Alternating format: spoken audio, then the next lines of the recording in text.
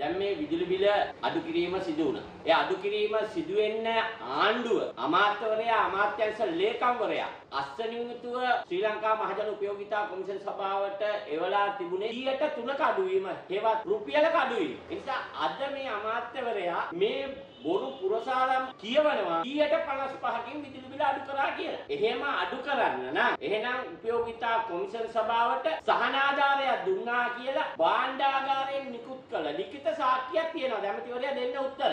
ජනතාව නොමග යවන මුසාවර් සහිත මේ Twitter පණිවිඩ අද අපි වර්ජනය කරන්න ඕන. නොමග යවන සුළු Twitter පණිවිඩ එවනවා ජනතාවට. ඒ නිසා ඇමතිවරයා කරේ තනිකර මුසාවක්.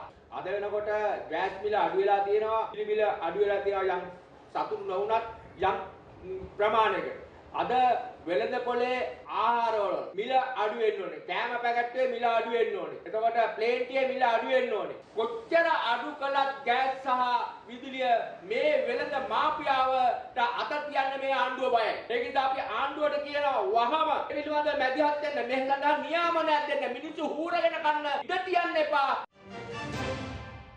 දිනපතා අලුත් වීඩියෝ සහ ප්‍රවෘත්ති නැරඹීමට ඉහත බටන එක කලික් කර සියත TV සබස්ක්‍රයිබ් කරන්න.